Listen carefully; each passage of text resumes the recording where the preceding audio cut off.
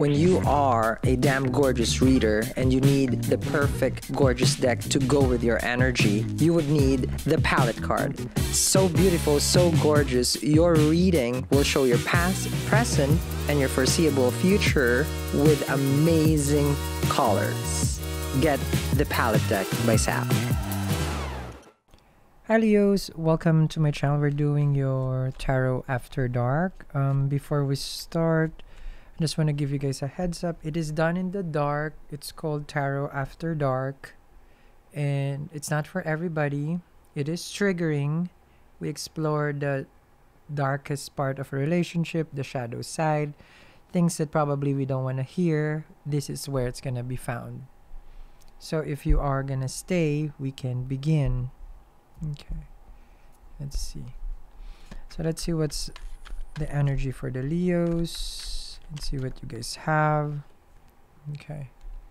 The first card that flip is the fool card. The fool card represents here, I feel like the relationship itself.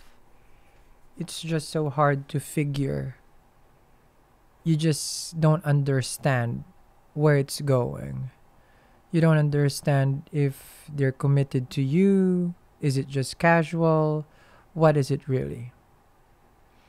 The fool represent, um, you know, taking a chance, a leap of faith. But here, you can clearly see that it's like, it's like even a prisoner who just got out, or it's a person who just got out of the bed, and just doesn't know what they're doing. So this is the energy of the relationship it took off, but there's no sense of direction. There's no sense of loyalty. You know, are they really just for you, or you're you're just someone that they're seeing? Because it feels like the energy is also about mockery. Because it's like, oh, look at you, you liking me. You know, someone is you know b- basically got you on the wraps, and you're here trying to figure it out. Okay, like what is this about? Am I stupid? to have any kind of feelings towards this person, the emotions that you're giving to them. It's like, what is it really? Those things. Now, it appears that if they're not with you, clearly they got all these different people that they talk to. So now it comes to a casual connection. So you're going to ask yourself, are they devoted to you even though they're talking to other people? because of course you're not the only person in the world and they're entertaining you ask them are you are you committed to me are we exclusive the person doesn't um, reply or they just brush it off to the side. Now you you can see that this person is actively talking to other people with the six of wands. Um that's the energy of look at this like they have so many hands there. So they extend themselves to different people here and there. Can be acquaintances of course. Some can be past relationships. Some can some can be new and then they're just talking you know but there's so many clamoring about this person. Okay. So you have been um, loyal to them with the queen of pentacles. You have you know you're putting that coin towards them. You're invested and it's something important to you of course you know whoever we spend time with that's an investment on our end because you know our life is being dedicated to them. So that's how you are dedicated. You know the the queen of pentacles is caring. The queen of pentacles is uh it's the homebody also. Not in a cancerian queen of cups way but more of you take care of everything that needs to be taken care of being responsible you know not homemaker. This is not a homemaker. You're more the responsible type in the relationship.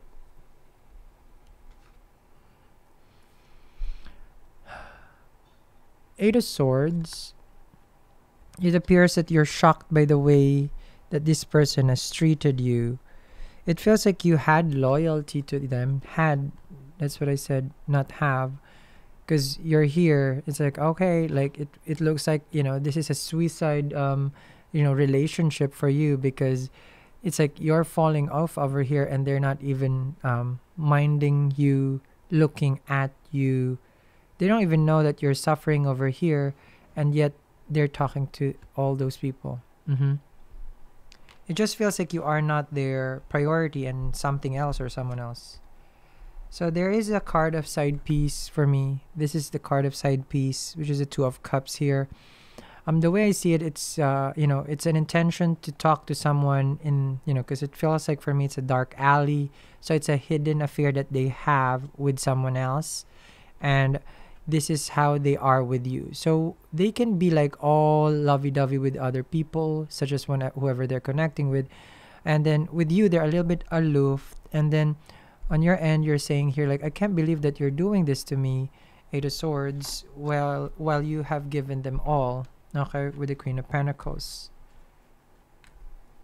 So the Two of Cups here, the reason why I said that there's you know there's this uh presence already of someone could have a baby they're engaged already intimately to this person they're actively um dating this person consistently this is not just a one time fling no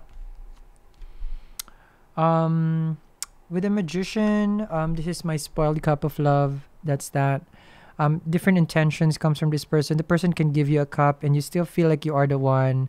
You're so in love with them. The magician got uh, has you in its tricks in its wrap and then um their intention is clearly uh, you know it's not clear. Now they may act okay all stupid with the fool. In reality they have an agenda. And basically you fell for that agenda Eight of Swords.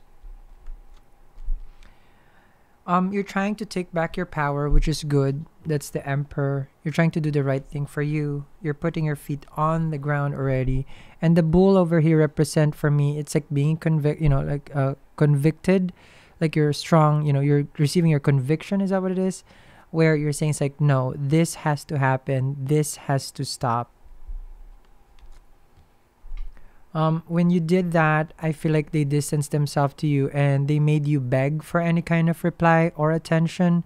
So even though you put your feet on the ground already here, they managed basically, okay, so you stay there since you're saying here you're tough, then now this person is triggering you. How tough are you?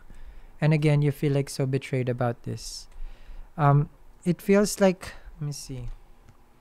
Yeah, um if you try to be greedy with this person it doesn't work out. Like if you try just to oh you know i'm gonna shut down no contact because that's actually what they expect. They expect you to take what they can give and then just be on your way because i feel that they are engaged already here. Like they're very invested in this card. Now is the question considering that you're here you're still hoping the star is a wish. You're here because you still want this to manifest. Even though of course you're already shocked, you know, you already put your, you know, your feet on the ground over here and this person has treated you like this. For you, there's so much hope, there's so much love that you want to pour towards this person. I'm going to continue this reading. Link down there in the description box below for the extended. This is your Tarot After Dark.